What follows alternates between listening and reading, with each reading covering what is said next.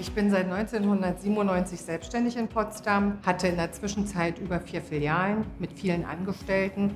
Corona-bedingt haben wir uns verringert. Ich bin Christine Lack, selbstständige Friseurmeisterin in Potsdam und ich unterstütze Frau Saskia Ludwig, weil sie weiß, dass der Mittelstand das Rückgrat der Wirtschaft ist und man ihn stärken muss.